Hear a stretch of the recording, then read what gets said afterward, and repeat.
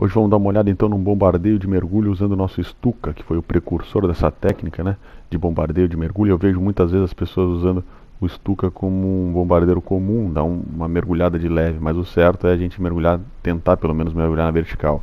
Bom, o nosso mapa aqui então é Malta. Nós vamos dar uma volta pelo leste do mapa ali, quem já jogou aí, acredito que todos já jogaram, é cheio de navios ali. Bom, para não cortar, vamos dar uma acelerada aqui no nosso, nosso vídeo. Bom, a gente vai dando aquela volta pelo leste ali, vocês vão ver que tem muita bateria antiaérea. A gente vai tentar então fazer um split S, como a gente vai ver ali à frente. Chegar sobre o alvo, fazer um split S, mergulho vertical e soltar a bomba.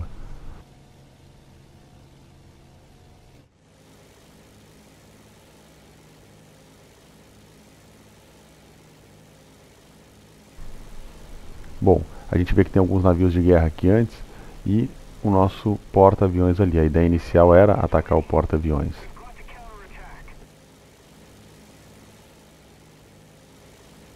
Posicionados ali na entrada do porto de Malta, que vocês vão ver mais adiante, vai ter muita bateria antiaérea, tanto em terra quanto no mar, e a gente vai ter que ver a nossa rota de fuga ali, e mais adiante a gente vai ver isso. Conforme a gente vai voando, é interessante sempre manter aquela consciência situacional e escaneando o céu para ver se não tem outros inimigos, um caça que vai nos interceptar ou algo assim.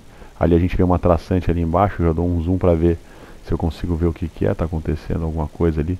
Muitas vezes pode ser, naquele caso ali, o pessoal pousando e usando para desacelerar, né? Usa uma rajada de metralhadora para desacelerar. Eu começo a ver uns pontinhos no céu ali atrás, vou dando um zoom para ver se não é nenhum caça que vai chegar, porque realmente o Stuka, quando vem um caça ali, é, é um alvo muito fácil, fica difícil. Já vou ajustando em direção ali aos nossos navios, sempre procurando olhar em volta, a minha posição no mapa, olhando a posição dos meus alvos. Eu vi que tinha um pessoal chegando ali, já mandei um aviso ali pro pessoal ver se uns amigos vêm. E aí eu realmente vejo dois caças vindo na direção ali agora. E eu percebo que vai ficar ruim de eu chegar no porta-aviões, porque eles estão perto, e a nossa velocidade relativa, é, o Stuka voa devagar, né? Aqui eu já começo a receber tiro de ar, então para a gente dar uma olhadinha, qual que é a ideia? Faz um split S, então o alvo está ali embaixo, entra num mergulho vertical e solta a bomba. Vocês vão ver que deu um problema nesse caso aqui, que é comum acontecer, que eu não fui o suficientemente à esquerda aqui pela imagem, ou seja, o alvo fica para trás. E aí como é que eu vou identificar isso aí? Eu vou falar mais adiante ali, como é que a gente vai identificar, mesmo sem olhar para o lado, que o nosso ângulo não está correto. Bom, eu começo então a tentar me posicionar para o mergulho. Tem aquela janela embaixo entre as pernas do piloto ali para tentar olhar. Eu tentei ver, mas não é fácil. Então abra, recolhe o motor, abre o nosso freio aerodinâmico para mergulho e inicia o nosso mergulho na direção dos navios ali que eu tinha selecionado como alvo. É. Eu percebo que eu não estou no ângulo correto, eu giro para que o mergulho, porque eu estava no ângulo negativo ali, eu não iria conseguir soltar a bomba. E com isso eu acabo descendo muito. Vocês vão ver que agora eu acerto o navio e ele, a minha própria bomba explode um pedaço da minha cauda, né? Vamos dar uma olhada então como é que eu consigo perceber. Olha o ângulo em que o flak está subindo na minha direção. Se eu tivesse bem certo, ele não faria uma reta direita daquele jeito. Ele faria uma reta, eh, faria um ponto crescendo na minha direção. Eu estaria bem na vertical. Aqui eu começo a perceber, se vocês conseguirem ver, pela, mesmo com um slow motion aqui, que eu vou girando na direção para que a parte mais baixa dele esteja abaixo do meu avião ali, que eu esteja fazendo um ângulo normal de mergulho. É, essa é a forma correta de soltar a bomba. Eu acabei errando ali na, na hora do mergulho, no início dele, tem que deixar passar um pouco mais do alvo, para que você não tenha um mergulho de 90 graus, você tem um de 80 ou 70, mas não um de 110, 120 graus. Bom, fizemos o nosso ataque, olha a quantidade de ar que tem. os navios estão atirando a feito louco a cidade atirando a feito louco, eu sozinho no céu, e eu não sei como é que ninguém me acerta. Para o mar ficaria ruim, muito para dentro da cidade também, muita bateria antiaérea. Hit the deck, como falam os americanos, se soca no chão, se agarra no chão.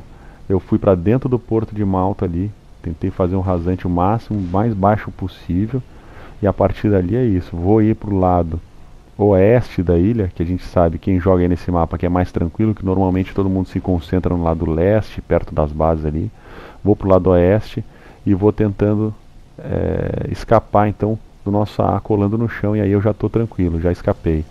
É, vamos dar uma acelerada aqui então para a gente não não ficar com muito tempo aqui no vídeo, mas o tempo inteiro do mapa aí, como vocês podem ver, eu vou colado no chão, tem uma zona crítica ali, que é do nosso aeródromo, é, do meio do caminho ali, que junta muito avião e fica sempre dogfight ali, e com Stuka nunca é interessante entrar em dogfight, a ideia dele é ir lá e bombardear e sair.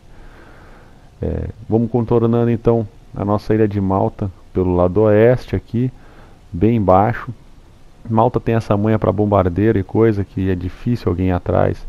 Como ela tem essas encostas altas, se você voar baixo ao lado da encosta, dificilmente alguém vai vir atrás de você. O que pode acontecer de você encontrar outro bombardeiro da outra equipe vindo por ali, né?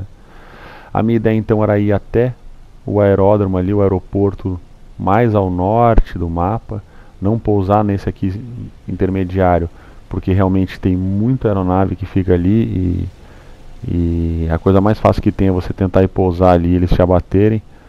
Mas eu achei que comecei a olhar ali, comecei a analisar e achei que estava meio tranquilo.